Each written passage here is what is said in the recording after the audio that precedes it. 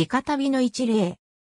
足首からふくらはぎまでを覆う部分は金属製の小ハゼで留めるようになっている直旅は足の裏にゴムテーが付き、足の指が親指と残りの二股に分かれている作業労働用の旅で足のつま先に力が入りやすいのが特徴である。履物を履かずに直に土の上を歩くための旅の意味を持つ。地下は当て字である。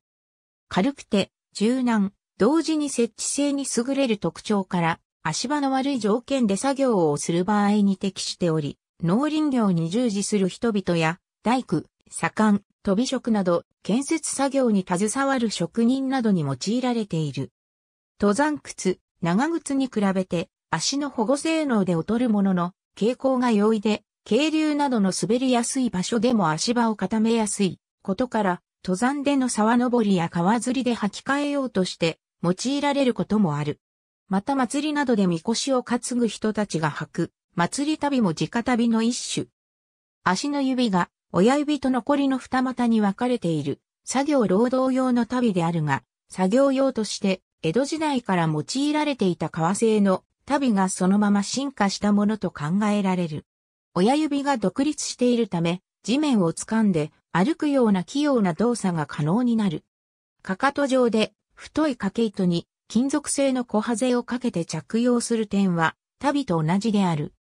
用途により足首上までの短いものとすね全体をしっか近くまで覆う竹の長いものがあり、小ハゼの枚数が竹の長さの目安となる。足のサイズ自体は古くは一般の旅同様に分数が使われていたが、現代日本ではセンチメートル単位表示に移行している。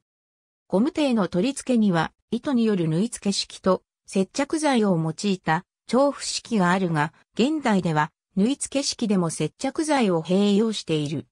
一般には軽くて薄く柔軟性があり、価格も安い調布式が主流になっているが、クッション性や耐久性を求められる用途向けに縫い付け式にも需要がある。足の保護という面では、本格的な靴に比して不利ではあるが、軽量で柔軟なため活動性に優れること、布製で比較的蒸れにくく、丸洗いも容易なこと、廉価で入手しやすいことなどの特徴から、日本では屋外労働者の履物として21世紀初頭でも広く用いられている。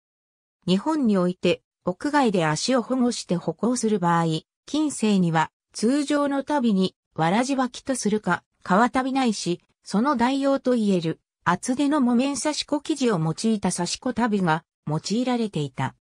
明治時代に入ると新たな素材としてゴムが日本に移入され、明治時代後期からこれを足袋の底に縫い付けることで屋外での使用に適合させた現代に連なる直旅が出現し始めた。縫い付け式は現在でも一部製品で用いられており、厚手にしてクッション性も得られることから、祭り旅にも多用されるが、工程が増え、コストが高い欠点がある。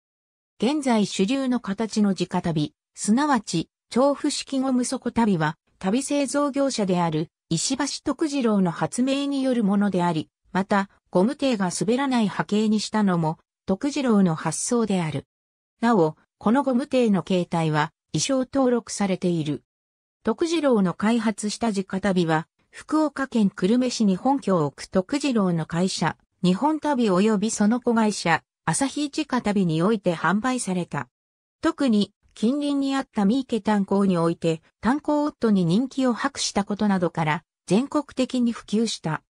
日本旅は、ゴム底靴製造販売にも進出し、後に、朝日シューズとなる。また、徳次郎の弟であり、日本旅の実質的な経営者であった、石橋正次郎が、ゴム製造のノウハウをタイヤ製造に活かして、創業、拡大させた会社がブリヂストンである。直旅は、戦前の日本軍によっても多用された。革製の噴火に比べると足の保護の点では不利だが、低コストで足にフィットする洋装や革靴履きに慣れていない当時の一般的な日本人にも馴染みやすい足音が立ちにくいといったメリットがあった。太平洋戦域の米軍は日本軍の直旅を参考にして靴底がゴムの布製ブーツのジャングルブーツを開発して使用するようになった。現在日本国内販売は、そのシェアの6から7割を占める株式会社力王と約3割を占める株式会社丸5による河川市場である。生産はそのほとんどを中国などの海外生産に頼っている。現在では、つま先保護用、または踏み抜き防止用にスチールプレートが入った安全時旅、山中など滑りやすい地面で歩きやすいよう作られたスパイク直旅、かかと部にエアークッションを備えて足腰の負担を軽減するエアージョグなども商品化されている。北朝鮮ではズック靴、スニーカーが直旅と呼ばれている。屋内の床上では他の履物同様に上がり口で脱ぐべきものであるが、落語家の柳家金五郎は、反骨的な行動が目立った青年時代、安くて丈夫だからと称して、直旅を履いて講座に上がった武勇伝がある。ありがとうございます。